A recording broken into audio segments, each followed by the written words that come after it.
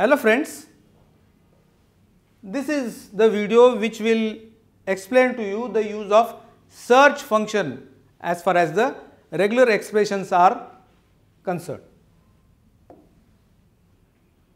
The syntax of the search function is more or less similar with the match, but whereas the match function tries to find the pattern in the beginning of the string, the search function finds or tries to find the first offer, first occurrence of the you know pattern.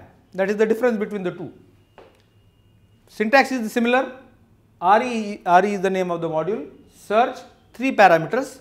Pattern string and flags the same parameters. Okay. So, pattern is to be found out where, where it where it occurs for the first time in which string what are the flags you can have one or more than flags by default it is equal to 0.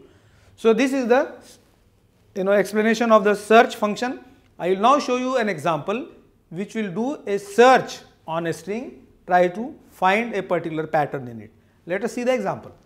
Just like the match function the search function in the RE module also takes three arguments. One is the pattern other is the string in which this pattern is to be found and then there are the compilation flags.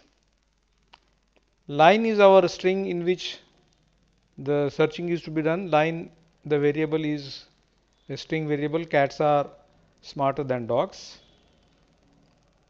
Then this is the these are the two compilation flags re.m for multiline and re.i for ignore case and this is the pattern in which this than keyword is to be found in such a position that before that there are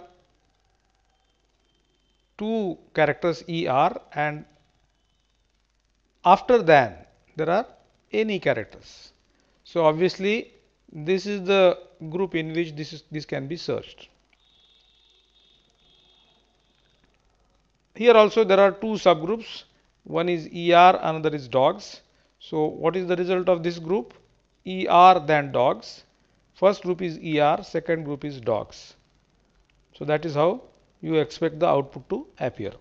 Let us see the result and see whether it is indeed showing the same output. So, as I run the group in which the pattern is found is ER than dogs. ER is the first group, subgroup and second subgroup. So, more much the same way the search function is also giving the result.